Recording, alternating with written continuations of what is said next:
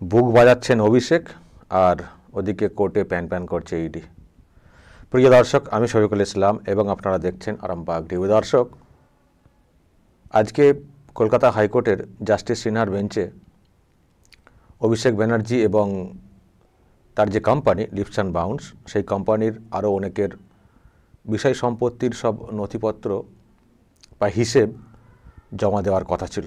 তো ইডি সেটা করেছে। কিন্তু তারপরেই যে খবরটা সামনে আসছে এটা, আমার কত সম্পত্তি দু হাজার কুড়ি থেকেই জানে। ইডি নতুন কি দেবে? লিপসান বাউন্স নিয়ে অভিষেক। এবং আমি আর একটা বিষয় যেটা দেখছিলাম আচ্ছা এটা তো একটা বিষয়, আমি এটার বিষয়ে একটু পরে আসছি। এটা, ভিতরের যে লেখাটা। ইডি এবং সিবিআইকে এখন আর তেমন গুরুত্ব দেন না বলেও জানিয়েছেন অভিষেক। তার কথাই আমাকে পাঁচবার তলব করেছে, চারবার ইডি একবার সিবিআই আমার স্ত্রীকে চারবার তলব করেছে। আমি এখন আর ইডি সিবিআইকে গুরুত্ব দিই না বলে আরও অনেক কথা। মানে অভিষেক ব্যানার্জি পাত্তাই দিচ্ছেন না, পাত্তাই দিচ্ছেন না। যতই জাস্টিস মানে নথিপত্র চেয়ে পাঠান বা যতই তাকে এইসব তলব করা হোক না কেন অভিষেক ব্যানার্জি তিনি পাত্তা দিতে নারাজ। তিনি পরিষ্কার বলছেন যে, ও দু হাজার কুড়ি থেকেই তো জানে আমার কত কী সম্পত্তি, আবার নতুন কি নতুন কি জমা দেবে এজলাসে? তবে দর্শক, এখান থেকে কিন্তু আরেকটা বিষয় পরিষ্কার, তার মানে ইডি যে নথিপত্র জমা করেছে আজকে, তার মানে সেখানে আপডেটেড কিছু নেই, ওই পুরনো।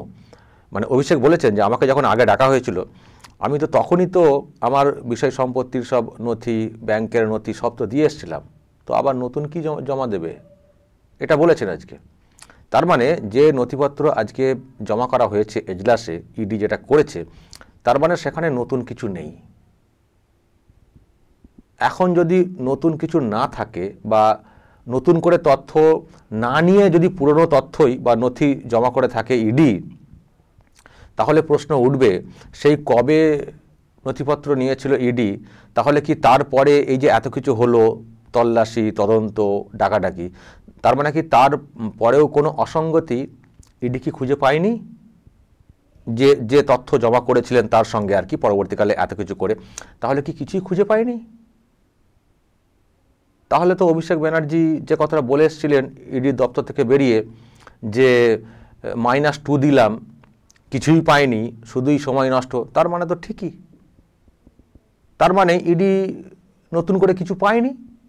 পায়নি বলেই নতুন নতুন করে কোনো তথ্য মানে তার কাছ থেকে হয়তো চাওয়া হয়নি। যদিও আমি খবর দেখছিলাম দুদিন আগে যে তার নাকি বিষয় সম্পত্তির সব বিষয় নাকি সব কাগজপত্র চাওয়া হয়েছে। তো উনি তো যা বললেন, যা খবর দেখছি, তার মানে উনি তো কিছু নতুন করে দেননি।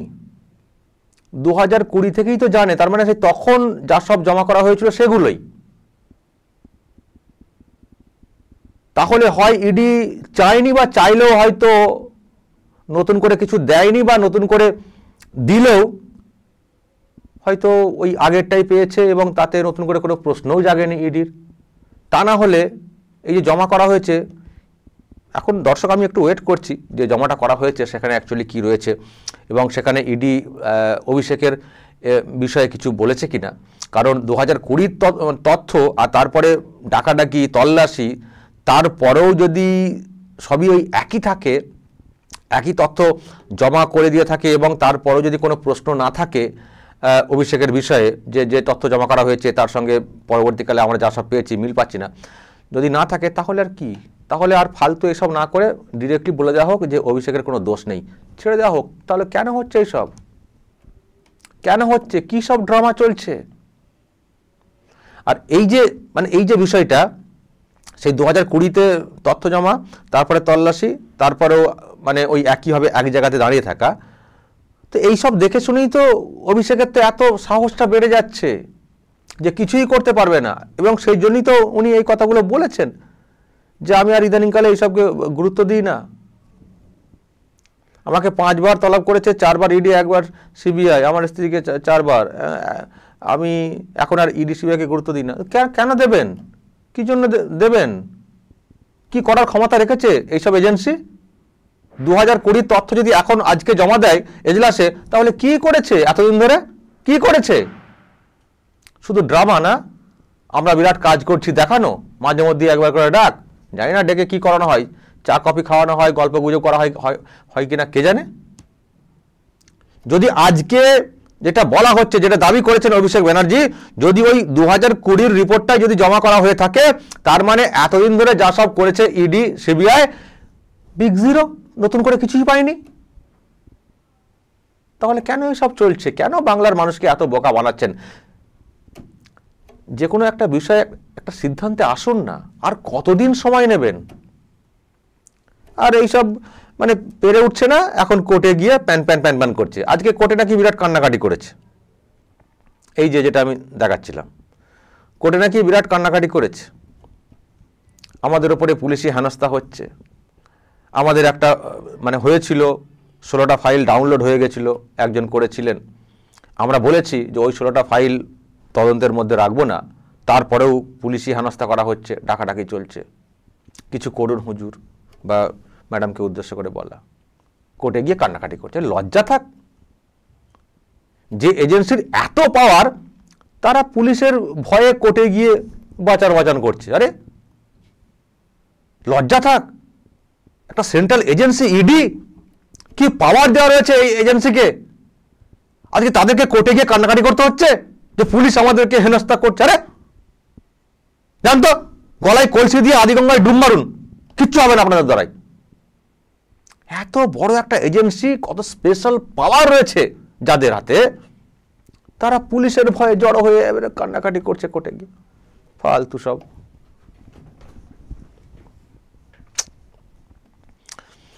এখন জাস্টিস বলেছেন, পুলিশকে উদ্দেশ্য করে। যেহেতু এজেন্সি এরকম বলছে, বলেছেন যে এত সুপার অ্যাক্টিভ কেন? যখন অন্যান্য কেস থাকে, সেই সব বিষয়ে তো খুব একটা অ্যাক্টিভ আপনারা হন না, এক্ষেত্রে কেন? ইডি আধিকারিকদের বিরুদ্ধে পদক্ষেপ না করে পুলিশকে প্রশ্ন এই বলেছেন। ওনার কাছে বলা হয়েছে, উনি বলেছেন। সবই তো পরিষ্কার না যে কোথায় কি হচ্ছে, এটা তো পরিষ্কার, কিন্তু প্রশ্ন যদি মনে হয় এবং বলা হয়েছে যে অভিষেক ব্যানার্জির নাম নিয়ে বিজ্ঞপ্তি প্রকাশ করার পর থেকে এইসব হেনস্থা চলছে আমাদের উপরে। তার মানে এটুকু পরিষ্কার, তারা যারা বলতে চাইছেন সেটা আমরাও বুঝতে পারছি, কোর্টও বুঝতে পারছে। কিন্তু প্রশ্ন, পুলিশের থেকেও কি আপনাদের ক্ষমতা কমে গেছে? যখন এত কিছু বুঝছেন যে কোথা থেকে মানে কোনো একটা জায়গা থেকে একটা প্রভাব খাটানো হচ্ছে, প্রভাব খাটানো হচ্ছে, তো সেক্ষেত্রে কি আপনাদের কিছুই করার নেই?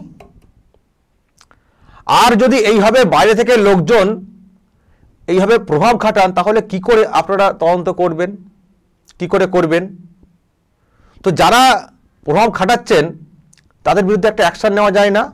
তাদেরকে হেফাজতে নিয়ে তদন্ত করা যায় না। দরকার হলে পরে তারা খালাস পাবেন।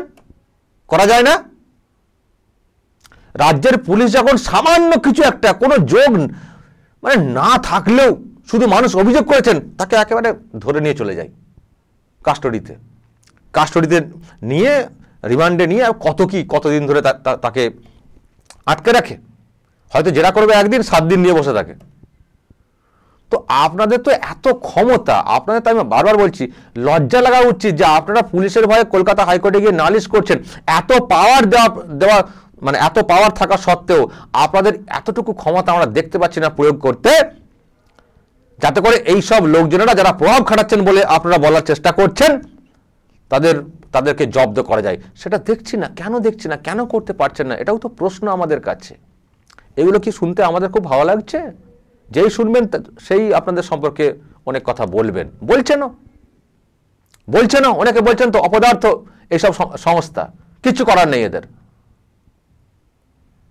এবার যদি বলেন যে আমরা করতে চাইছি, আমাদেরকে করতে দেওয়া হচ্ছে না উপর থেকে। এখন সেটা আপনারা হয়তো প্রকাশ্যে বলতেও পারবেন না। কিন্তু আমা- আমরা অবশ্য সেই সব নিয়েও ভাবি। আমরা অবশ্য সেই সব নিয়েও ভাবি। যদি সেটা হয়, তাহলে ওই আর কি, এত পাওয়ারফুল একটা এজেন্সিকে মানুষের সামনে ছোট মানে ছোটো করে দেওয়া হচ্ছে, আস্থা হারিয়ে দেওয়া হচ্ছে, ভরসার জায়গাটাকে নষ্ট করে দেওয়া হচ্ছে, যার একটা বিরাট নেগেটিভ ইম্প্যাক্ট পড়বে, সেটাও খুব খারাপ।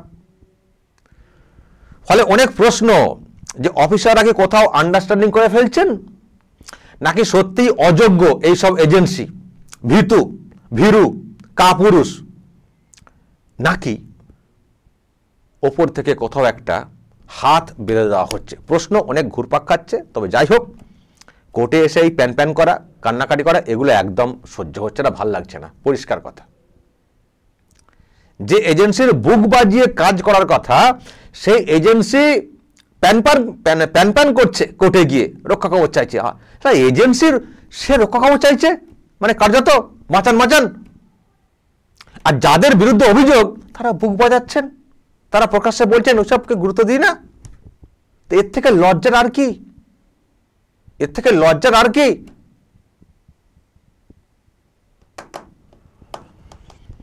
দর্শক, কি বলবেন? যদি এসব নিয়ে আপনাদের কিছু বলার থাকে, অবশ্যই বলবেন।